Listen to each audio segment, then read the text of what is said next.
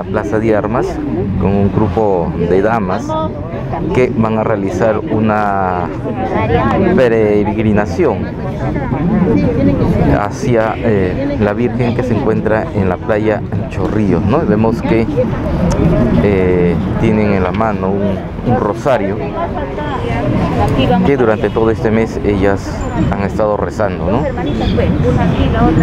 Justamente en este mes de mayo, es el mes de María, el mes mariano, como ellos, como ellas me están indicando.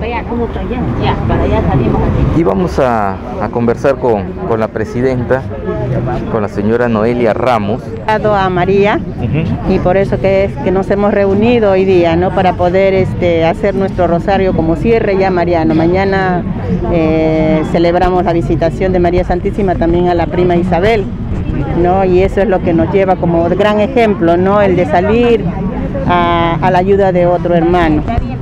Eh, estar en contacto con Dios, rezarle, elevar una plegaria eh, es muy, muy gratificante para las personas. Sí, muy gratificante y fortificante también, ¿no? Porque nos da fuerza.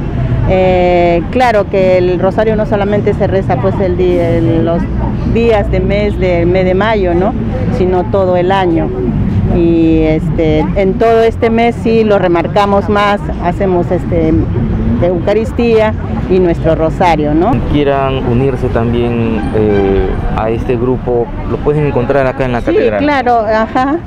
Quedan invitados acá en la catedral, tenemos este cuatro presidios, después el, en la iglesia de Fátima también hay, en la iglesia de Gualmay, la Virgen del Carmen, también hay presidios, grupos en la cual se reúnen semanalmente, ¿no? Una hora y media, eh, dando nuestro, rezando nuestro rosario y dando informes de nuestro trabajo que hacemos semanal, ¿no?